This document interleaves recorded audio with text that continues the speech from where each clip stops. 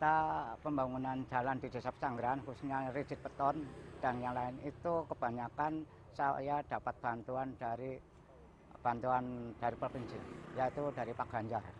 Jadi Pak Ganjar memang sangat antusias sekali untuk memperdulikan di desa kami.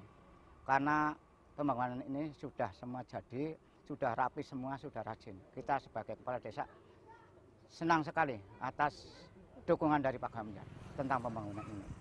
Ini dibangun tahun berapa Pak? Oh, dibangun 2019, terus 20, terus kemarin ini sedang dibangun untuk melanjutkan. Insya Allah daerah kita udah terjangkau semua.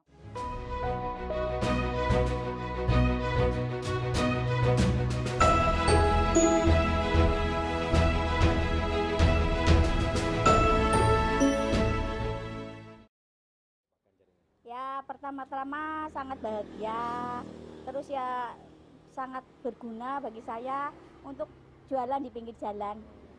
Jadi jadi, jadi rame. Dulu jualannya di mana? Dulu jualannya di belakang, di rumah belakang, Sepi ya? sepi. Itu kenapa kok sepi? Ya karena jalannya susah, nggak banyak yang lewat. Sekarang kan banyak yang bersepeda. Jadi kalau hari Minggu kan banyak yang mampir, jajan gitu. Jadi sangat sangat bermanfaat bagi saya. Jualannya apa Bu? Tahu masak, mie ayam, soto, goreng-goreng. Ini jalan ini yang bangun siapa sih Bu? Pak Ganjar. Rasanya gimana Bu? Ya rasanya sangat senang dan bahagia lah.